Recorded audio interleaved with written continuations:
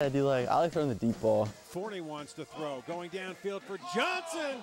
Kind of struggle with the shorter ones, but I'm sure I can get that down easy though. You know, we had to go to our best athletes, and, and Forney is a tremendous athlete. And if you look what he's done overall, he's rushed for over 200, 250 yards. Forney to the sideline. He's thrown for over 250 yards. And the truth of the matter is, what he's really best at is probably being a wide receiver. Touchdown, Warwick, 80 yards, Brady Forney.